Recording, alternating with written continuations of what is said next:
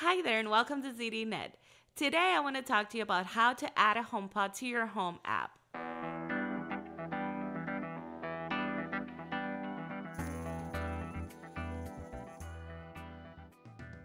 Alright, so for this video, let's talk about how to add your HomePod to the Home app on your iPhone or iPad and how to connect your HomePod to Wi-Fi. Alright, so let's dive right in. The first step will be to plug in your HomePod and wait for the white light. If your HomePod hasn't been set up yet, when it powers up, a white light will start pulsing on the display at the top of it. The next step would be to hold your iPhone near your HomePod. You can also use an iPad to set it up, but I'm going to use my iPhone.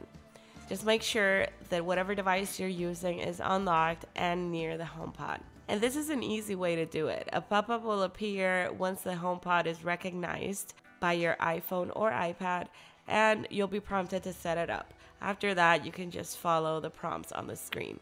If you're not seeing the HomePod pop up for you on your screen, you can also just set it up in the Apple Home app, which is the little app here with a yellow home on it.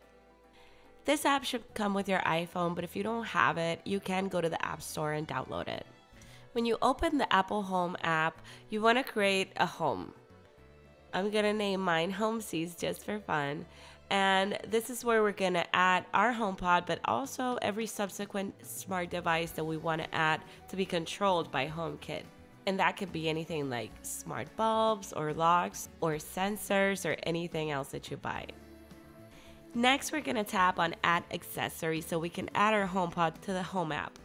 When you do that, you can see you can actually scan a setup code, which typically comes in the box of any smart accessory that you buy, like a smart bulb, for example. But in this case, we're gonna tap on more options so we can prompt our phone to recognize the HomePod mini that is nearby.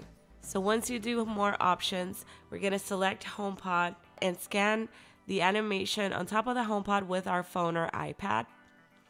And after that, it'll be a matter of following the prompts to set it up. This will involve picking a room where your HomePod will be. I'm going to select my living room and accept your terms and conditions.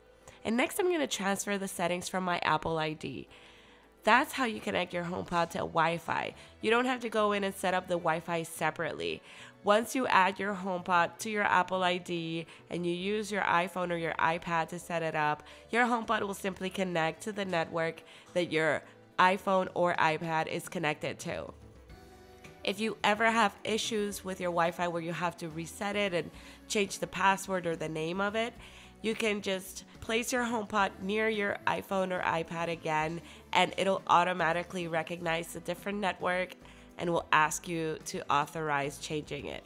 If you want to use your HomePod as your smart hub, you want to make sure it's selected as one. So go to your home settings in the Home app and go to Home Hubs and Bridges. And you can see here my HomePod mini was already automatically added as a home hub. And that's how you add a HomePod to your home app. Thank you so much for watching.